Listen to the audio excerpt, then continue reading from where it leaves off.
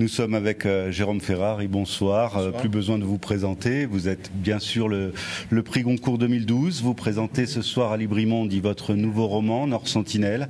Alors autant le dire, c'est un roman qui a euh, finalement tout l'assentiment de la critique, critique littéraire notamment, très bien écrit, très stylé. Est-ce que ça vous fait toujours plaisir? Bah, Oui, bien sûr que ça me fait plaisir.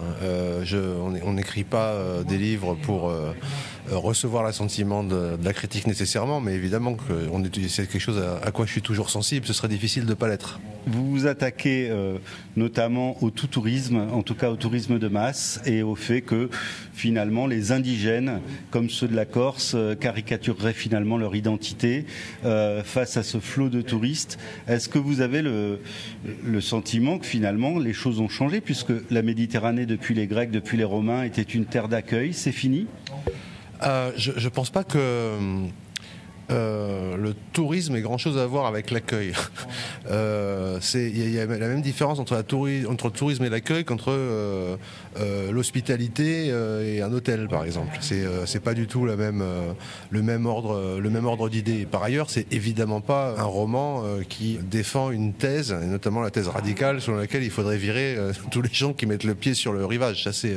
C'est la théorie d'un narrateur qui est à la fois exaspéré, de très mauvaise humeur, de très mauvaise foi euh, et euh, plein. Mais le narrateur, c'est un peu vous quand même. Ah non, Un professeur qui, qui a vécu à l'étranger, qui travaille en Corse. Non, non, mais la, partager des, des, traits biographiques avec, euh, avec un narrateur, c'est impossible que le narrateur soit moi. J'arriverai jamais à écrire un roman si le narrateur devait être moi. Ce qui est intéressant dans un roman, c'est de, de, prendre, de prendre la parole à la place de quelqu'un d'autre, un personnage, et c'est certainement pas de se servir du personnage comme si c'était le masque qu'on qu'on enfile pour dire ce qu'on pense mais qu'on n'ose pas dire. mais la, la Corse est tout de même moins bétonné que certains rivages euh, espagnols, la Côte d'Azur, l'Italie, voire l'Algarve portugaise. Ah ça c'est certain, j'ai eu l'occasion d'aller euh, d'aller euh, constater ça moi-même la première fois que je suis allé sur la côte espagnole à Alicante. Mais la, question n'est pas tellement le béton. Moi, ce qui m'intéresse, au, départ, je voulais même, je tenais même pas particulièrement à ce que le roman ait lieu en Corse. J'aurais voulu imaginer un un endroit paradigmatique du tourisme, sauf que ça marche pas comme ça. Un endroit paradigmatique qui est pas situé quelque part, c'est pas un vrai endroit, c'est pas c'est pas authentique. Et donc je me suis dit qu'après tout, euh, si j'avais besoin d'un endroit qui euh, pouvait servir d'exemple à une certaine pratique du tourisme, ben, la Corse euh, vaut et, fait, l'affaire aussi bien qu'un autre. Et comme c'est un endroit que je connais, c'était c'était le c'était le plus simple. Et c'est pas une question de bétonisation. C'est ce qui m'intéressait, c'est la transformation du rapport qu'on peut avoir avec l'autre quand euh, on est dans euh, ce type euh, de... on se folklorise. Ben, ça, ça, ça pas, pas, nécessairement, mais un peu quand même. Et, même si on se folklorise pas, quand les, quand les gens arrivent, euh, ils ont toujours, euh, ils sont toujours à la recherche de quelque chose qu'ils ont imaginé avant, dont ils cherchent la, la confirmation. Et il me semble qu'il y a toujours une, une dialectique un peu perverse entre celui qui regarde et celui qui lui donne à voir euh, ce que, euh, ce que, ce, ce que le voyageur est, est, est venu chercher.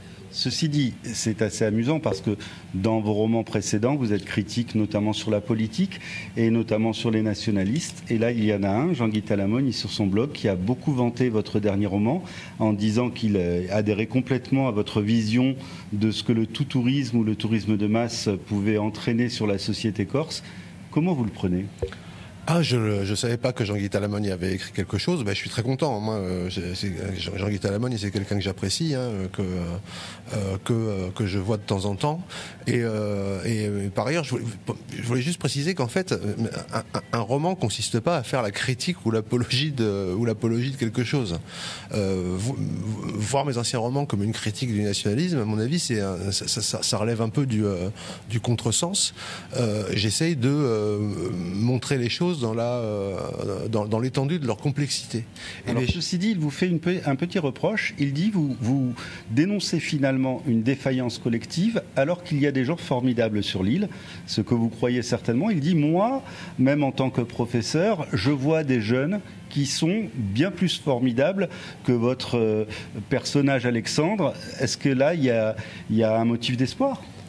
Ah ben, je suis euh, professeur moi-même et heureusement que je vois plein de jeunes, euh, plein de jeunes formidables. Sinon, je pense que j'arrêterais d'être professeur. Ce serait, euh, ce serait assez simple.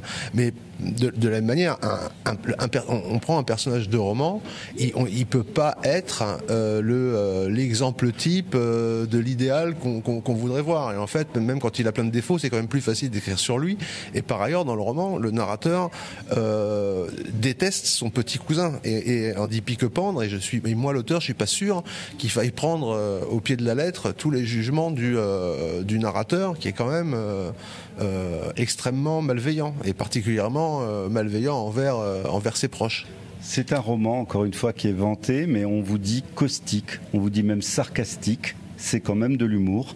Est-ce que vous, avez l'impression que finalement la, maxime de Boris Vian, si c'est bien lui qui euh, l'a écrite en premier, l'humour et la politesse du désespoir, c'est un petit peu ce que vous exprimez? Pas, pas vraiment. Moi, je, si, je devais euh, répondre par une référence, euh, celle qui me plaît le plus, c'est celle de, Schopenhauer, qui dit que euh, nous vivons, nous les, êtres vivants, une, tragédie, mais que dans cette histoire, ne nous est même pas laissé la noblesse du héros tragique et qu'on est en plus, par-dessus le marché, condamné à, y tenir un rôle de bouffon. Et le rôle de l'humour là-dedans, c'est plutôt de faire apparaître une part de grotesque et de, et de rire grinçant au cœur même de ce que moi j'ai conçu comme une tragédie. Voilà, en tout cas, sachez que Nord Sentinelle est un roman très dense, souvent très drôle, et que c'est le début d'un triptyque. Le deuxième roman que va écrire euh, Jérôme Ferrari sera sur l'exploration, et le troisième sur les expatriés.